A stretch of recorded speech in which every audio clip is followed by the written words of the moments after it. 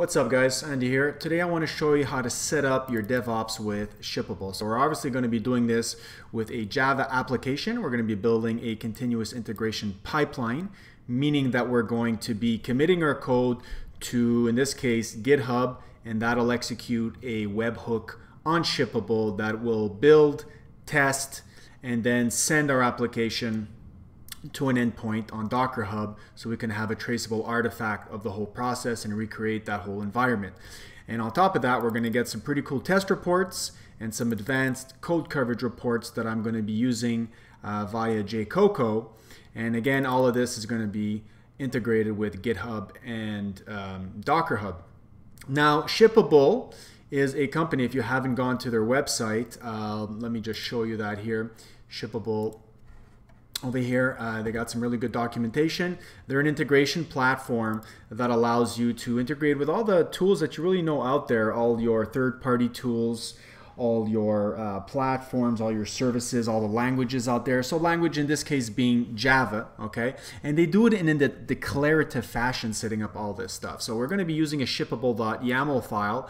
And as any YAML file, it's a well-structured document. So we're going to be going through some of these um, tags, if you will call them here, and we'll see how we can declaratively set, declaratively set up our uh, continuous integration pipeline and uh, actually push our uh, image to Docker Hub later on. Okay, so all this, you know, documentation here goes through every single uh, portion of that YAML file, but I'll be covering the pieces that we need for uh, this tutorial. Okay, so first off, we're going to be using a JavaFX application, which is different than I guess a lot of the examples you see out there, which are more web-based, but doesn't really matter because uh, most of it is all the same because what you got to do in your application now this, this missions JavaFX application is one that I've actually covered in other tutorials here. So just to show you how it's supposed to look like, right? Very simplistic, just for demo sakes.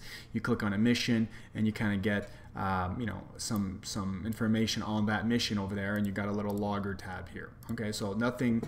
There's no actually rocket science behind this, okay? This is just a simple JavaFX application. The point is, what if you were part of a group of people and uh, wanted to ship this application off to your customer and you really wanted to increase the quality of your application by continuously running it through tests and whether it be just unit tests or integration tests on top of that which we will both cover in this tutorial okay?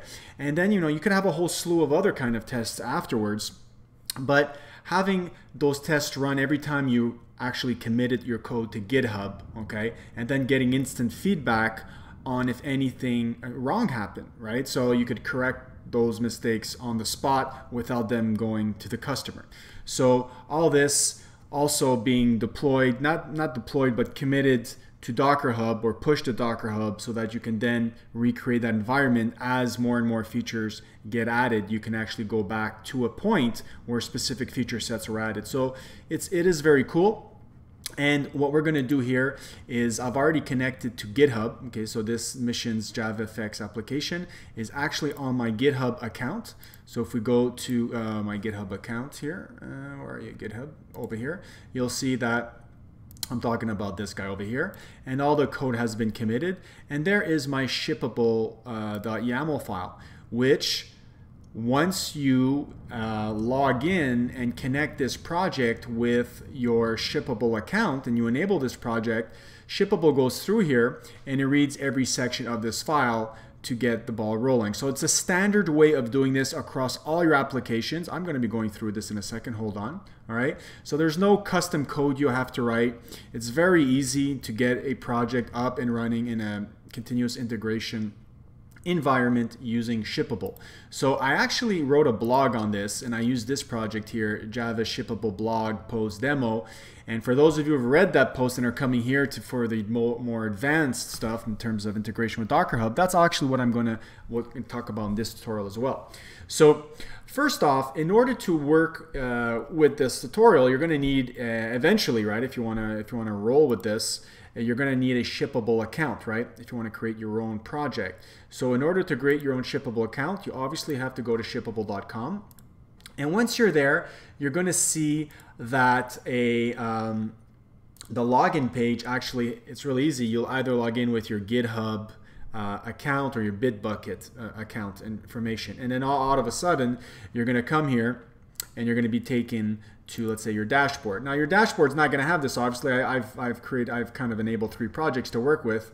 Uh, I've started with testing a whole bunch of stuff, and then moved on to the blog stuff, and moved on to this one here now, which you can see is at zero. We haven't actually committed any code, and so the build hasn't even been triggered yet. Okay, so what's going to happen for you guys is when you're going to have your own uh, GitHub account, you're going to have to come to Shippable, and uh, you're going to have to come to enable project. You have to explicitly enable it first. So you see these are all my projects on GitHub. And if you don't see your project up here, just click on the sync button up here and um, you will obviously then see your project pop up, okay?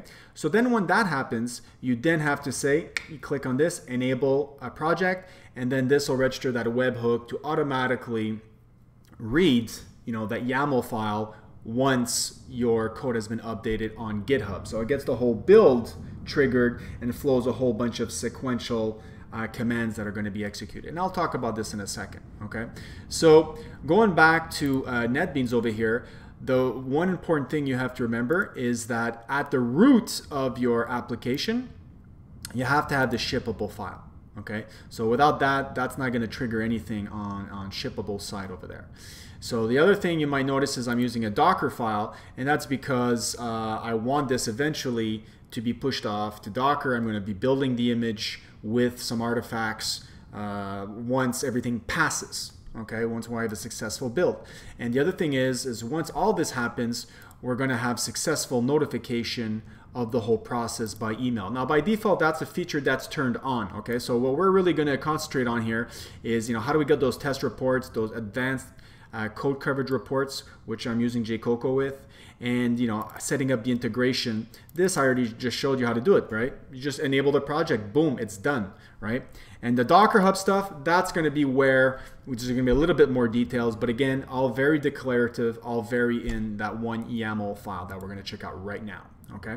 So, First of all, this is a very simplistic application. So if we go take a look at the uh, tests, all right, you'll notice that I just have one integration test and um, one unit test. It doesn't really matter if there's a 100 or one. The point is, is that we want to see what's going to happen on shippable side.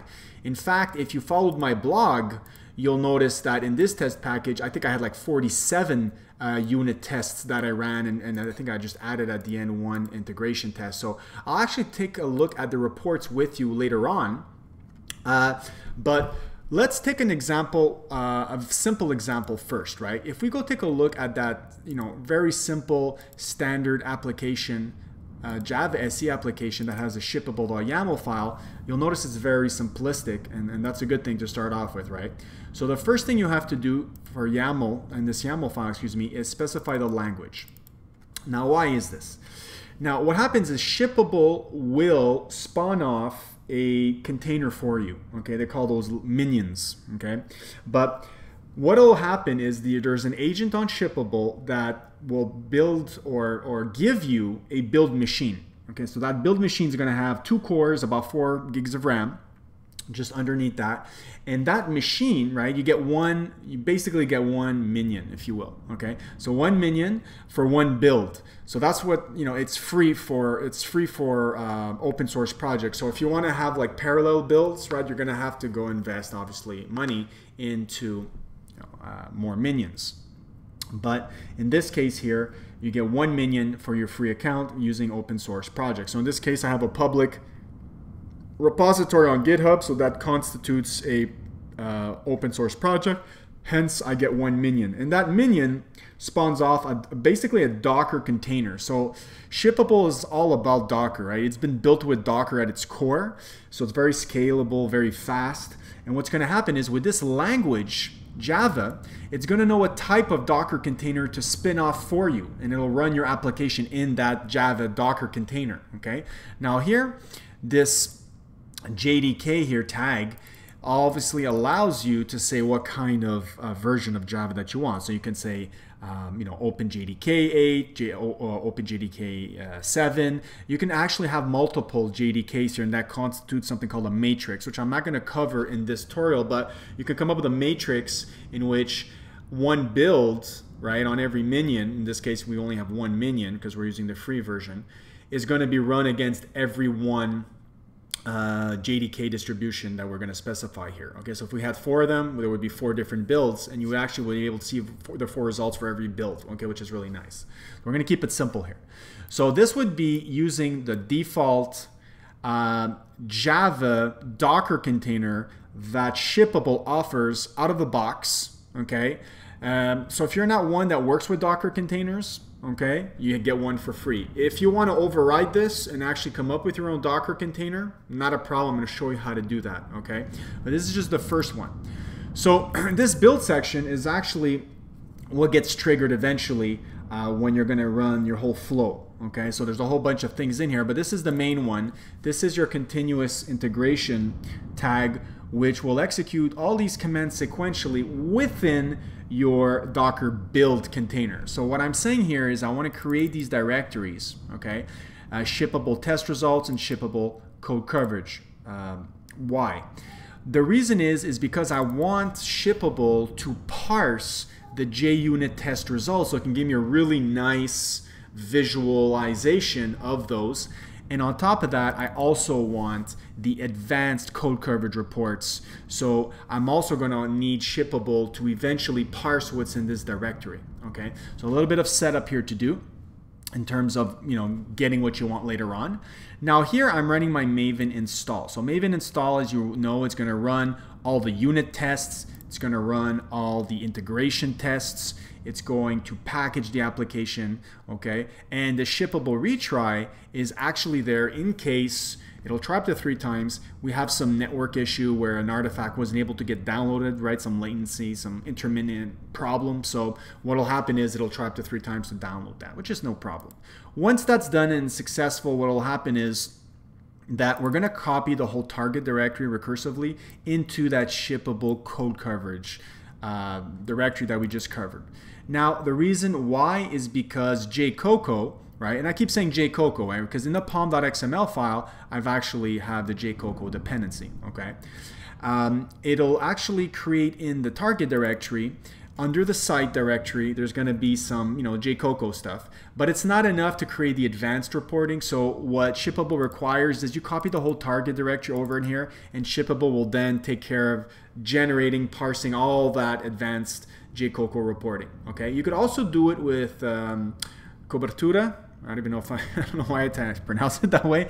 Cobertura. I can't even pronounce it the normal way.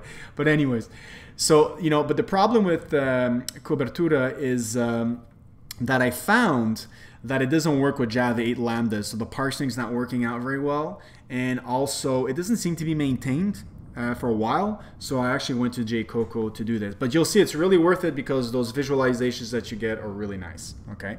So this is all that you need once you commit your code, right? So let's say we come in here and uh, let's go to the project and uh, I want to, uh, you know, I change some code, I commit. Well, don't have to do in this case, but what will happen, I'll, I'll, I'll, dry run it, and then I'll actually run it with this one, which is more advanced, okay?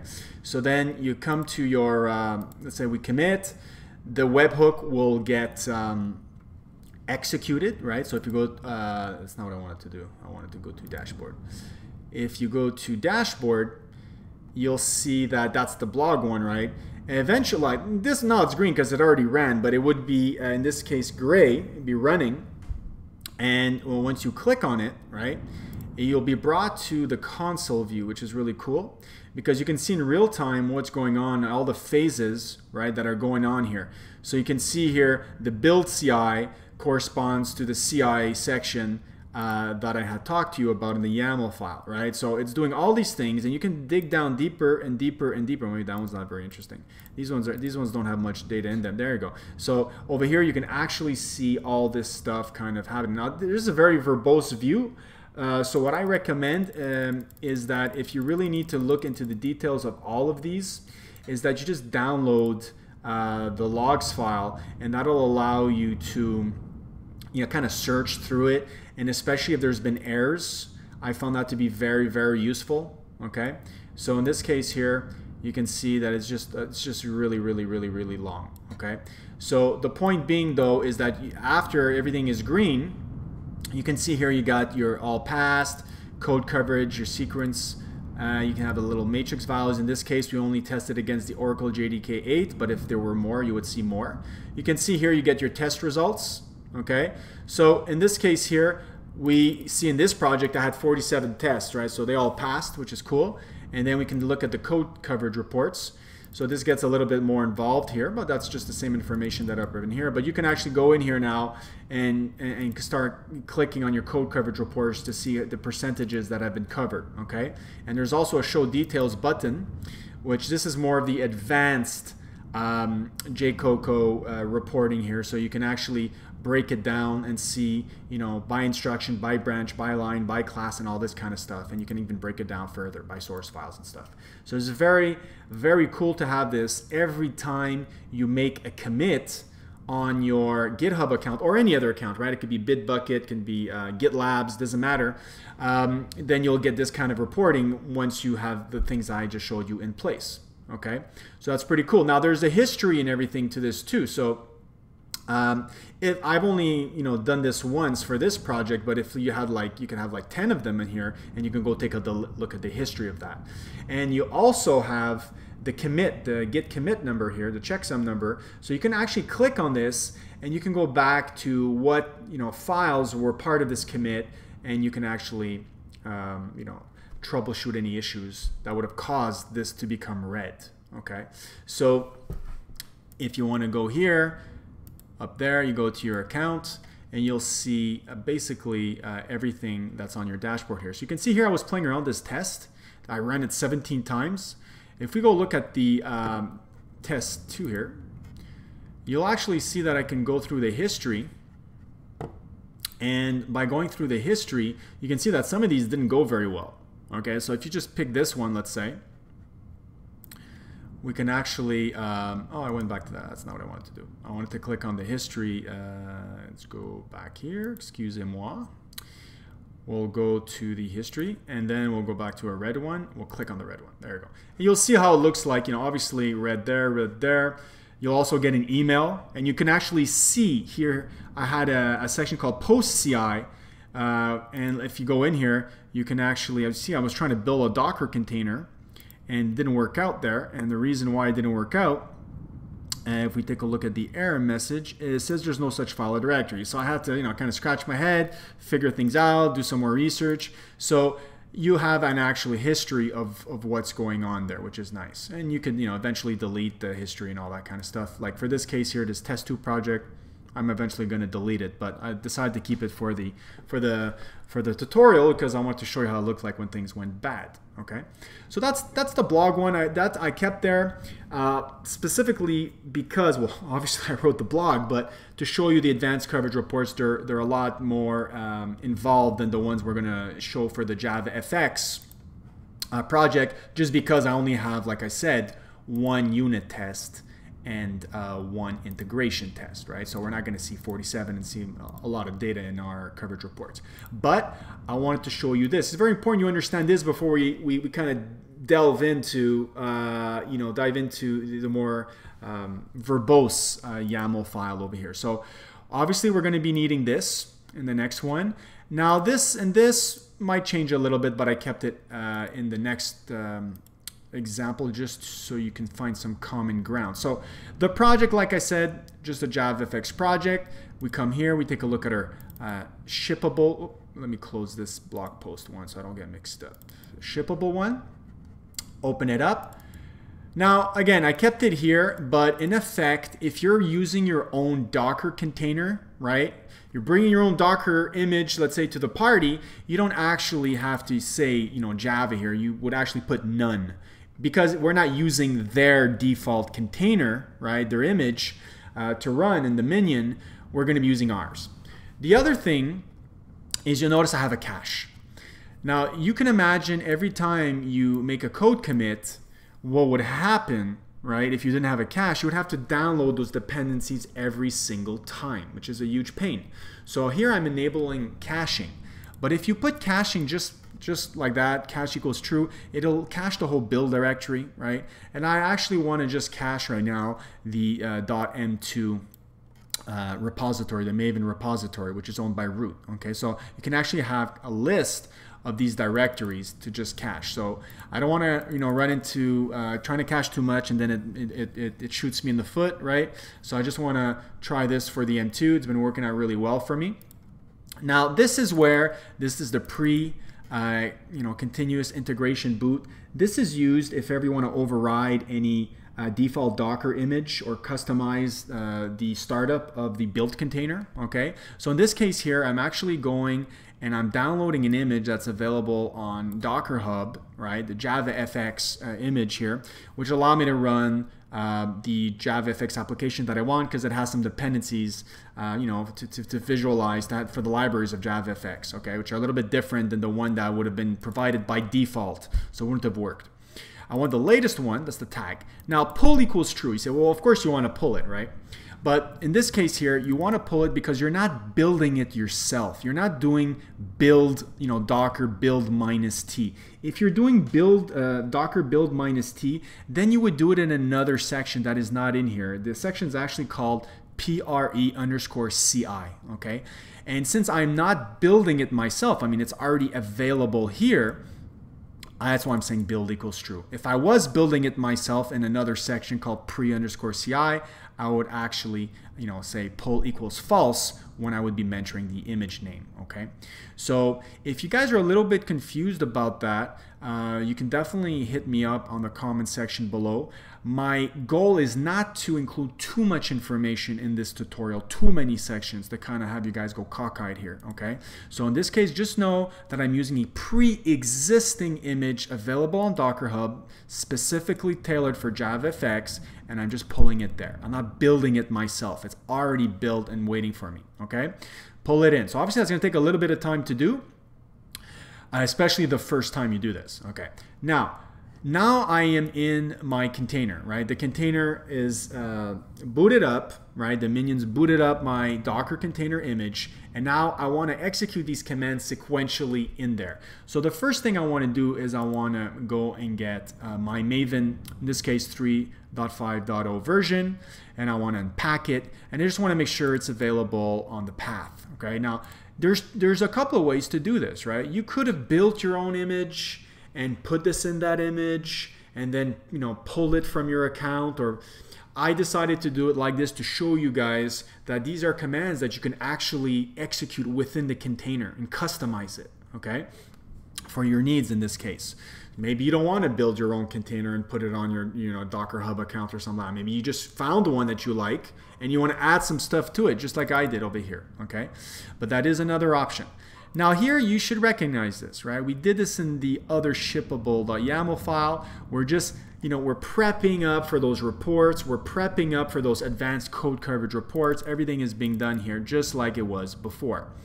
Now what's different is this line. We're also creating a build output directory. And why I'm doing this is because hopefully now I've committed my code, you know, the whole thing has been built. All the tests have passed, the, the unit test, the integration test. I have an artifact that is, um, you know, um, valuable enough now to push onto Docker Hub. So what I want to do is push that artifact out to this build output directory that shippable um, puts everything in there, right? So there's an environment in variable called shippable build directory. And under there, there's the target. And that's where my artifact is, you know, my jar file that's automatically, uh, you know, built for me via, via the Maven clean install. And what I want to do is I want to copy everything in that target directory. I don't want to kind of miss out on everything, just copy a jar file. I just want to copy everything and put it in that build directory that I just put out. Now, now that that image, right, that I've downloaded and I put Maven in there, also has my jar, everything is in there now. And what's going to happen is in the post CI section, right, I'm actually going to build myself this um, Docker image, right? So I'm, I'm using the same one as, uh, you know, not the same one, but I'm, I'm the JavaFX missions image is now being built and it's going to include this build output. You're basically doing like a commit on it, which all the artifacts that were generated, in this case just a jar file, is going to be pushed onto this Docker image. Okay, so this is obviously the MVP Java uh, username and this is the name of the image and I'm just going to use latest for now. There's much better ways to do this but for the tutorial I just want to keep it simple. And then I'm going to push it. So I build it and then I push it. And by building it, like I said, I'm including whatever is in this build output directory. So I have my jars. It's kind of like doing like a copy, you know, copy the jar over here. And now what's going to happen is it's going to push it, but it doesn't just push it magically. You have to set up something called an integration. Okay. Now, in order to set up an integration, you have to set this up first in shippable and then use this name that shippable that you register with shippable in this file. So let's go let's go take a look at that now. Okay. So if I go here to shippable and I believe here it's account settings. Bear with me because I, uh, haven't done this in a couple of days. I can't remember exactly where it is anymore. There we go. Integrations integrations, you would actually, now you see here I have a GitHub integration, a Docker Hub integration. Now you guys would come in here and say, you know, I want to add an integration and you look at all these things you could integrate with. I mean, it's just ridiculous. These guys, these guys have it all. I mean, you could even integrate with Jenkins. I was actually talking about this in my blog. I was saying, you know, you can use Shippable to you know, uh, replace what you've been doing with Jenkins because, you know, setting up with Jenkins as a developer, you know, it takes time to configure, to get to know it. Um, it's kind of a pain. It slows you down on getting, you know, all those features that you want in your code base. You're kind of playing administrator a little bit. You don't really want to play that. So this is really where, you know, shippable shines, but it just integrates with everything. It, your, your pipelines are just very well streamlined and automated. They, they did a fantastic job. So once you've set this up, okay, you look for your, your Docker and then you just uh, you know you add the information in there. Obviously they're going to come up with like a form that you add everything in there. So you know you're going to have your your username your password your uh, email all that kind of stuff. But this is the important part right? Docker hub. So docker hub is actually what you're going to put in in this guy here right? So integrations hub. Now you're connected. Now you're going to be able to push this guy to docker hub. Now the type in this case is docker. There's other um, you know, there's other types out there for, uh, you know, pushing um, containers out there. Now, the notifications, pretty cool. Uh, by default, it's on. You'll get a notification for, let's say, your uh, if the bill goes bad, obviously. And then if it goes back to being good, you'll also get an email, right? So you're back on track email. But if the build is like good every time after that, you're not going to get a notification. That's the default. So there are ways to configure that. And for now, I'm just putting, you know, kind of a placeholder there. You put your own email down there. I don't want you guys to use this code by accident. You know, email me all your builds, right? So, um, love you, but, you know, I don't want to have uh, all your emails sent to me. So, okay. So with this now, we can definitely get an end-to-end -end pipeline going where uh, we can get, actually, if we can get a visualization of this on uh, uh, on here uh, pipelines here, you can actually get a visualization of how this is actually going on. Mine should be pretty simplistic here. There's not much going on. There you go. You see how I have a, had a couple of them going on here. I got I got the blog one going to this guy, and uh, my other one hasn't been. Oh, I can even minimize and maximize. That's nice. So the other one hasn't been uh, visualized yet because I kind of screwed things up a little bit. I did a rename of a repository and it didn't really like that. So there's some things that are still yet to be synced. It'll probably take a probably take another day to sync that data up properly, but doesn't matter. So over here in the projects, let's say we wanted to actually uh, commit something, right? I don't know. Let's just go in here and um, go into the source and um, let's say we want to, let's say we just want to add like a little extra thing in the log over here. So, you know, successfully achieved mission info uh, for, and then let's just let's say, uh, I'm just going to put successfully, uh, I don't I don't know what to do, guys. Uh, I don't know. We'll just put the number two here, okay, just to prove to you that this is actually going to go all around the, the, the CI circle. So if I play this, obviously here, um, should see that pop up over here. There it goes at two. It didn't even do a good job. Didn't even leave a space. I'm awful. Okay, but um, if I actually take do this in um, the image, I have an image I've already downloaded, And if I want to execute it, I'm executing it through a script here to automate everything. If we take a look at that, let's see here. Uh, if I do this, you'll notice that it's not there, right? So I got like an old version uh, of it here. So if I say Docker images, right? I got a whole bunch of stuff here, but here, here's one. Here's the latest one I just got about an hour ago, right? So uh, this is the one we're going to be pushing. Okay, so that's fine.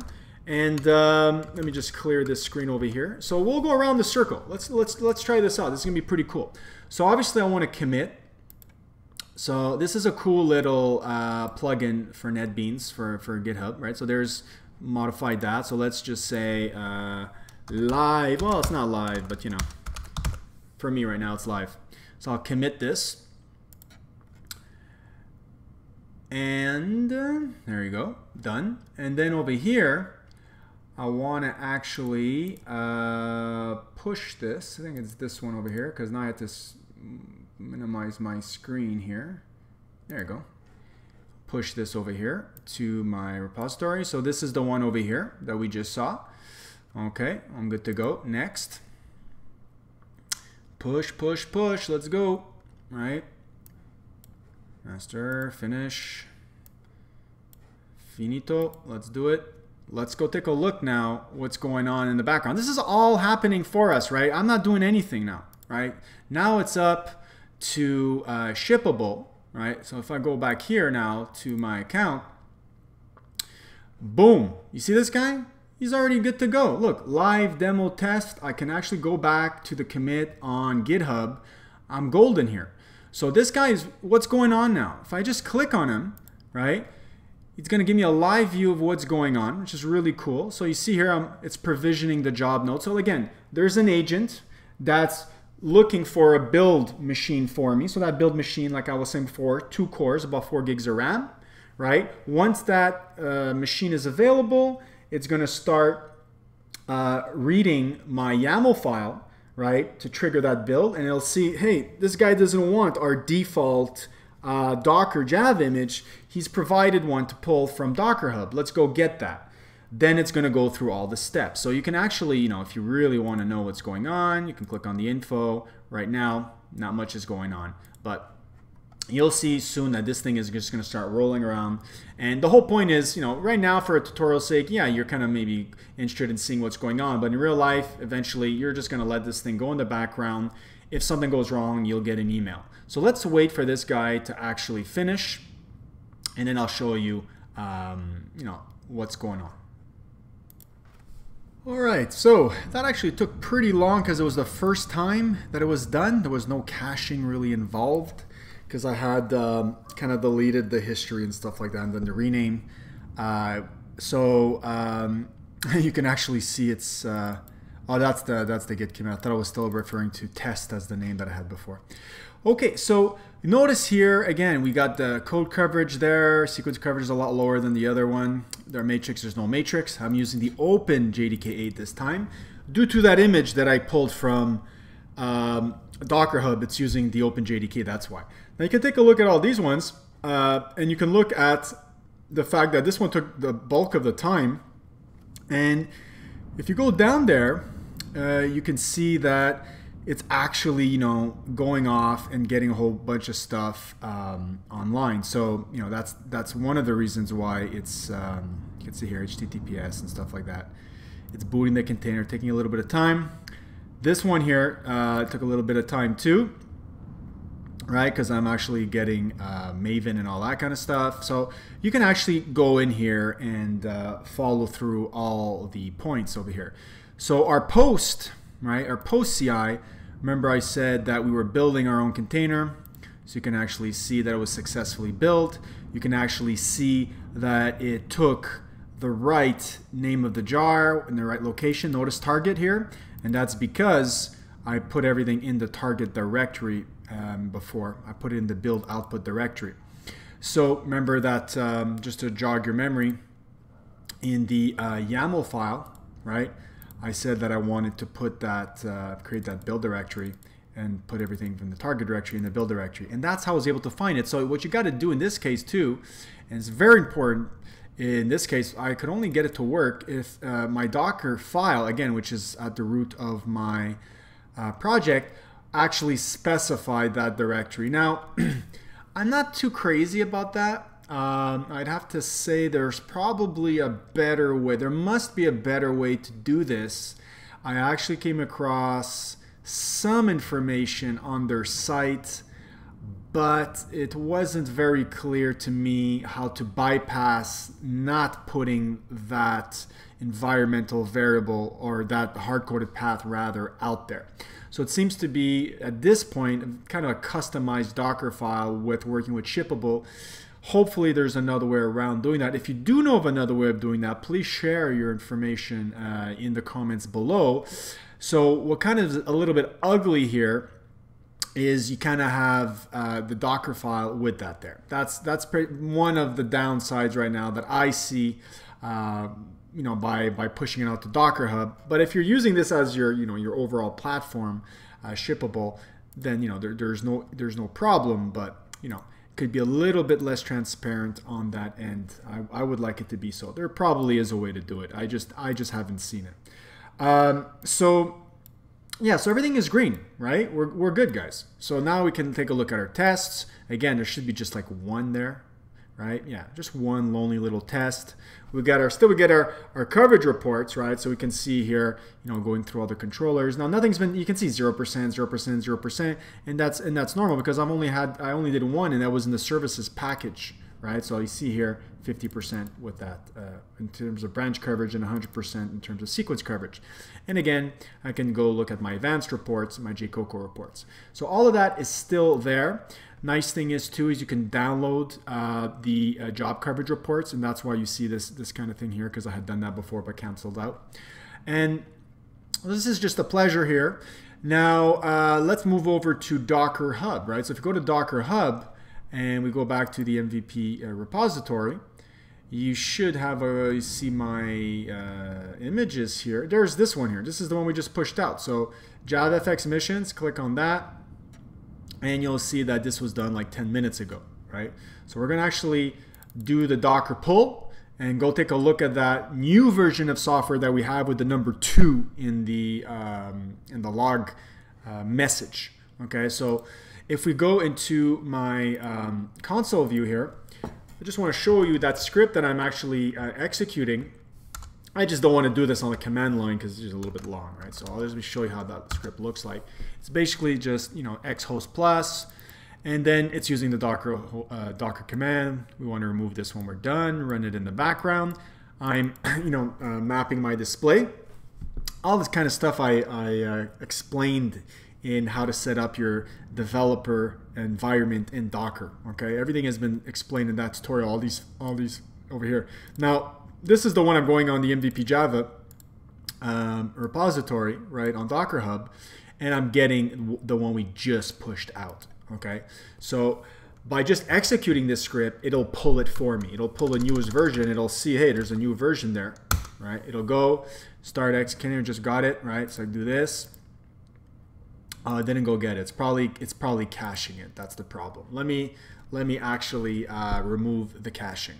No, actually, what I have to do is um, I have to go and actually pull this myself. So let me go here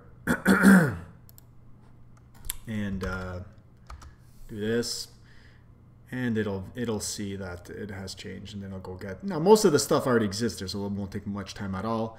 I just have to download basically you know, the, the almost the application itself is just different on that file system. So it'll go do that, and then we'll be able to run the script and easily see the, the new changes that have been um, propagated with that commit. All right, sweet. So we got it. Now we can execute the script that just does the whole thing for us. And boom, shows up. Click on this guy, should see the number two there. And there we go, guys. You see how that went all around the CI pipeline? And we had an endpoint that went and pushed the image right onto Docker Hub. Now, we could make this better because, you know, now I don't really have an inventory of like one push versus another, right? What if I wanted to go to the previous version kind of thing? Well, this kind of is a very uh, important requirement.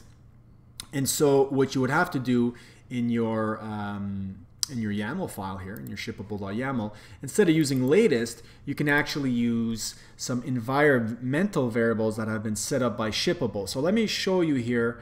Uh, there's a whole whack load of them.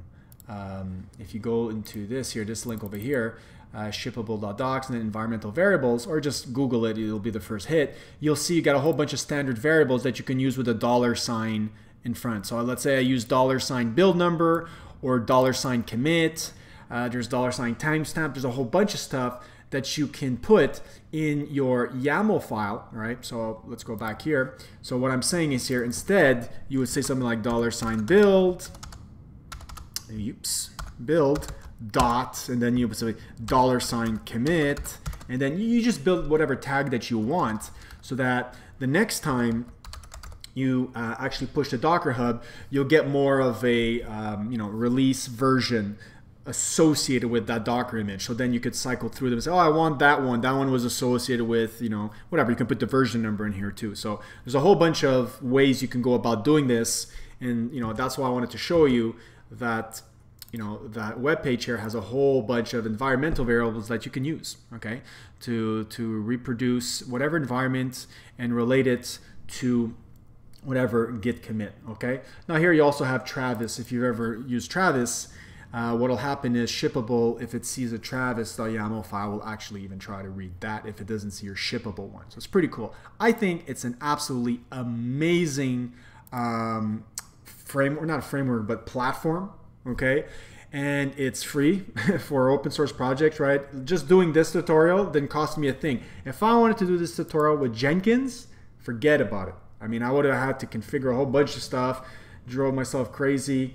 And on top of that, it would have been online because if I wanted a Jenkins server online, I would have had to pay money, right? Just to do a tutorial. So, you know, that wasn't in my plan. So once I found Shippable, I was all over it and I'm super happy with it. And you just saw how to build a continuous integration pipeline super easily with Shippable.